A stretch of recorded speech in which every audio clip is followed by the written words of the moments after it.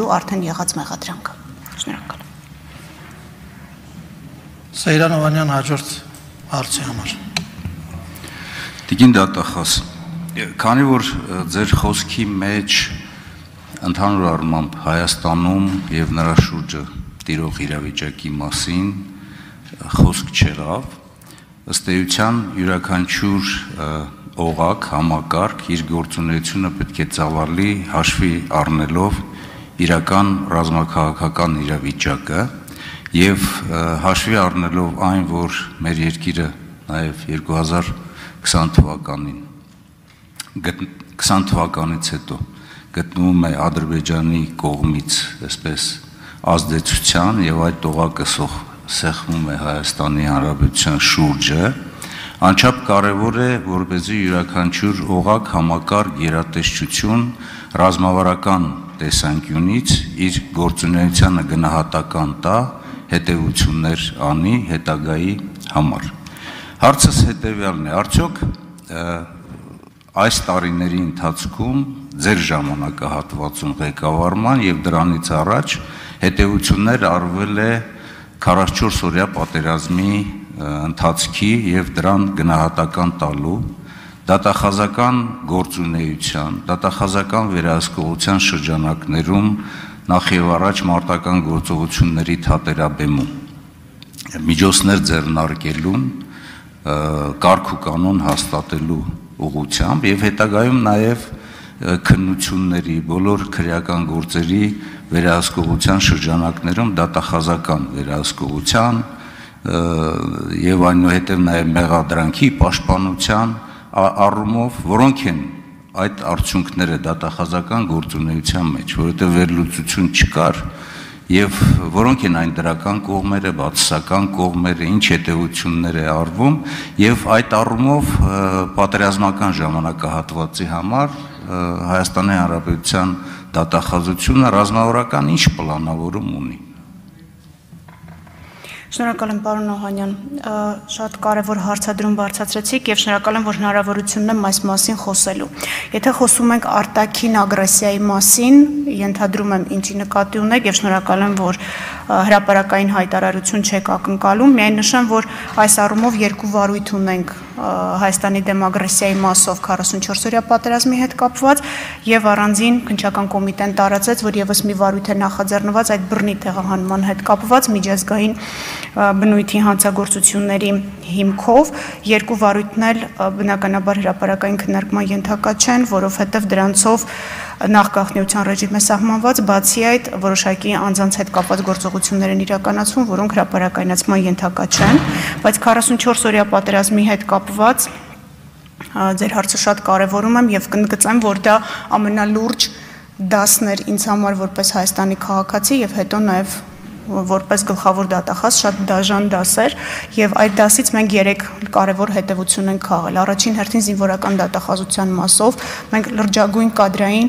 եւ պրոֆեսիոնալ գործընթացներ ենք այս պահին իրականացնում։ Կադրային են առումով, որ ընդլայնում ենք թվականակը զինդատախազների եւ պրոֆեսիոնալացնում ենք, որպեսզի զինդատախազությունը չդառնա այսպես ասած սպասարկու որոշակի process-ների, այլ կարողանա անընդհատ արտաքին դիտորդի աչքով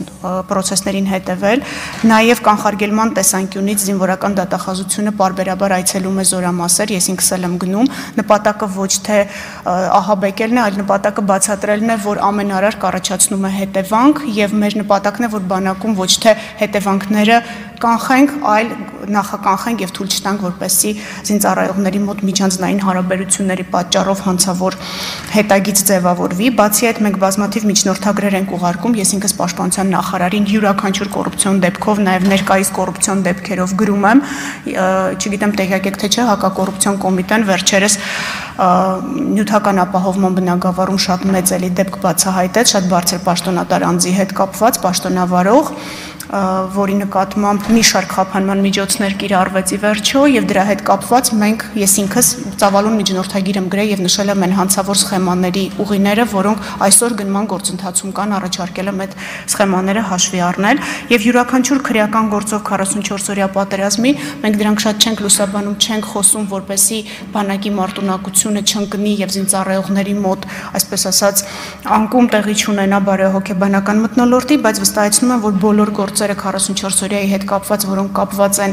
հատկապես հրամանատարության կողմից իրենց պարտականությունները չկատարելու մասով, հետևողականորեն ուղարկվում են դատարան եւ զտվում են այն գործերը, որտեղ բարձրագույն հրամանատարությունը մեղք չունի եւ դատախազը նույնիսկ մեղադրական եզրակացությունը չի հաստատում ու թույլ չի տալիս այդ գործն ուղարկել դատարան։ Այս առումով մենք շատ մանրազնին աշխատանք ենք իրականացնում, շնորհակալ եմ։ Համեցեք արձագանք։ Շնորհակալություն։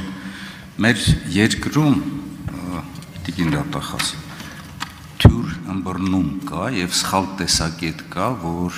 պատերազմի համար պատասխանատու է միայն բանակը, զորամասերը, ինքնին ձեր խոսքի մեջ արտահայտված տեսակետը միայն բանակի մասին խոսում է նրա վրա, որ բոլորի ուշադրությունը սևեռվել է դեպի բանակ, դեպի մանավանդ մարտավարական ուղակ, այնինչ պատասխանատու է պետության իշխանության բոլոր թևերը։ Հիմա ես չանդրադառնամ, ելույթի ժամանակ կանդրադառնամ դրան, երևի թե դուք ուշադիր չեղաք իմ խոսքին, ինչպիսի ռազմավարական պլանավորում կա, որովհետև յուրաքանչյուր համակարգ ունի խաղաղից պատերազմի անցնելու գործառույթներ։ Եվ այդ գործառույթները դրանք գաղտնիք չեն, դրանք յուրաքանչյուր գերատեսչություն ունի, որտեղ են արտացոլված ձեր այդ գործառույթները պատերազմական ժամանակահատվածի համար։ Եվ իմ հարցը ավելի շատ վերաբերում է ոչ թե քրեական գործերին առօրյայում, վերաբերում է հենց մարտական պատերազմական ժամանակահատվածում բոլոր օղակների, իշխանության բոլոր թևերի իրենց պարտականությունների կատարմանը։ Շնորհակալ եմ։ Ենթադրում եմ ձեր նշած ռազմավարությունը ոլորտը համակարգող լիազոր մարմնի գործառույթն է, մերը չէ, մենք քրեական վարույթներով ենք առնչվում բանակի հետ ցավոք սրտի։ Ինչ վերաբերում է